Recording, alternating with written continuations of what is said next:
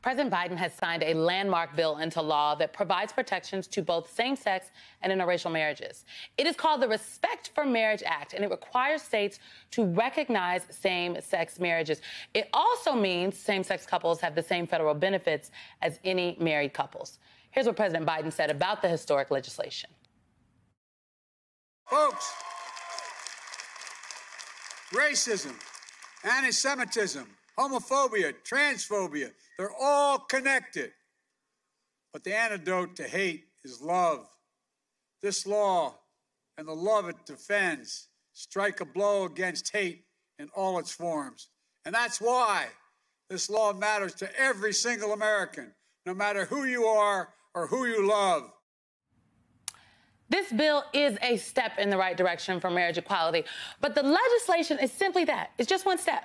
Because there are there's a gap in the protection for same-sex couples in the bill. That's because currently 32 states ban same-sex marriage in their constitution, state law, or both.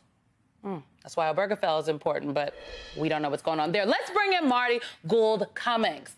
Marti Gould Cummings is a Hi, drag artist. Greetings. Yes, and Marti is a political activist. Marti was at the White House when the president signed the Respect for Marriage Act. Marti, thank you for being here today. I'm so excited to speak with you. I, I want to start with a, re- a little bit of a reality check, if we can. You were invited to the White House to witness the signing of this historic bill. And after that signing, you were targeted on social media. Tell us how that day went from celebratory to scary for you. Uh, well, first of all, like you said, this is historic legislation to help protect LGBTQ families and interracial families, but it's just one step in the road, like the president said. We have to pass the Equality Act. We have to ensure that we're fully codifying marriage rights because oftentimes couples, if they're traveling uh, or if they're not able to get married in their state, even though it's being recognized under this legislation, a lot of couples can't afford to travel to another state to get married. Uh, but like you said, after the invitation, there was an onslaught of hate uh, that came up. And this is something that we're seeing happening on the rise in this country. Uh, Meta and Twitter are not doing anything to help combat this. We've seen a 1200% increase in the word groomer, uh, the slur groomer on um, on Twitter, and I'm grateful to have the support and the guidance of GLAAD, a great organization mm. working on these issues. Um, but that online rhetoric is dangerous. Just the other day, the House committee held a hearing on how uh, online hate against yes. LGBTQ people is transferring to real life. We saw it in Colorado. In 47 states, we've seen 150 different attacks and protests at drag shows. One just happened today in New York City, in mm. Chelsea, a couple of hours ago, where protesters showed up to a library. So the online rhetoric is now coming into the real world, and the these online- social media Marti, the online rhetoric has has always um, has has not all has has always been connected to what is happening in the real world, and I think that point is so important. Um, and and the committee that you talked about, the hearing that was held, it, the juxtaposition of the bill signing um, and then the day after the House Committee on Oversight and Reform highlighting the rise in violence and threats against the LGBTQ plus community was just a lot. It was a lot. I mean, as of December 12th of this year, there were 141 incidents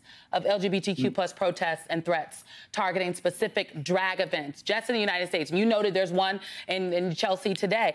What what effect has this had on you and your your fellow drag artists?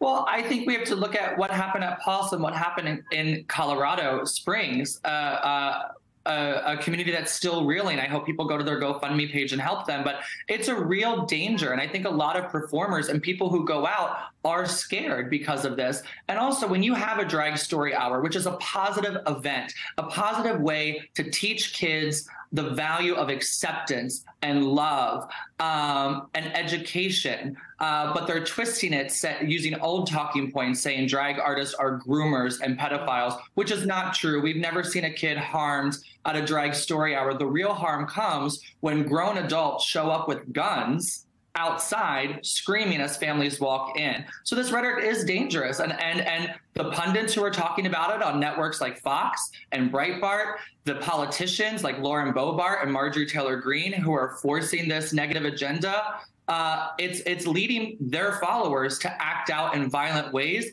words like groomer uh, against queer people, those are tropes from the past. We've let that go. Um, 71% of Americans support marriage equality. 21% of Gen Z identifies yes. as LGBTQIA. And the reality is, these people, as they see other people's rights being recognized, they are running with fear.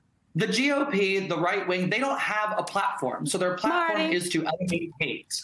Marti, I like to say the, the culture wars were never a distraction for some of my Republican friends. They have been the playbook for the Republican Party apparatus.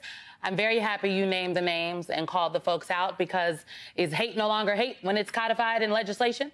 Okay, when people are elected officials? I appreciate your voice and your time. Marti Gould Cummings, thank you very, very much.